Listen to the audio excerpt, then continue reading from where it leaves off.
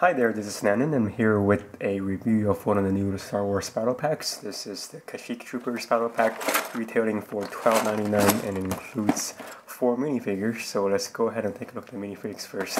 So we have the uh, two Kashyyyk Troopers. These are the new um, minifigures that have features olive green printing, um, contrary to the one that Lego printed back in 2005, which has the sand green printing, and I like the olive one much better, and it blends in greatly, uh, pretty well with the uh, dark tan. So there's the uh, printing on the minifigure head, and they are identical to the other ones, which are the Elite Corps Troopers, and they have a helmet design, which I think is a new one. I'm not too familiar. I haven't been keeping track of my uh, Star Wars minifigure helmet design, so it might be uh, a uh, same mode. So I'm not too sure.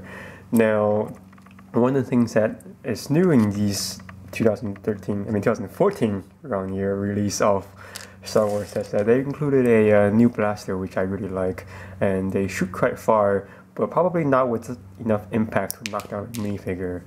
And I missed on my first shot. So luckily Lego has included many of these one by one round plates, so that if you do miss a um, lose one of these, you can always find plenty more replacements.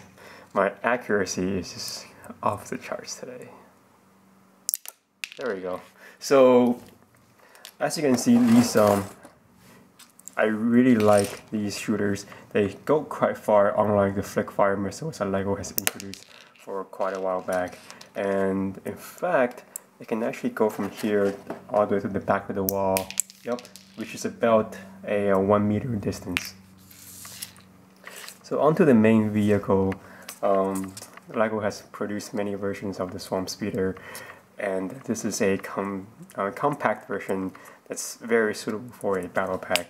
And I really, really like the design and the uh, awesome parts that it contains. Not only does it feature two more of these blasters, but it also includes quite an array of interesting parts for uh, space and sci-fi builders. So let's take a look.